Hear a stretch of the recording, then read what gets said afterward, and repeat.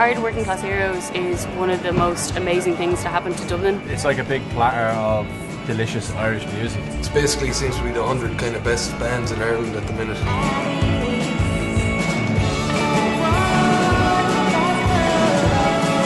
A lot of people are looking here for kind of new music. It's an experience you won't get anywhere else. The Dublin music scene is flourishing right now. Dance music is coming up. House music revival. New rock music. Garage and psych. Don't really have scenes over here, you just have loads of great bands. You're in all the bands. I am the music scene of Ireland right now. It doesn't need to be Friday or Saturday for there to be music on. Everybody here plays an instrument, plays music, everyone's into the arts. If you don't meet a musician in the first bar, you'll meet one in the second one.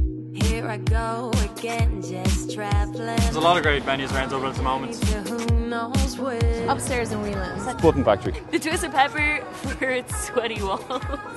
You're more interested in the musicians. Well, yeah, I like the musicians. Meeting House Square is one of the most amazing feats of engineering.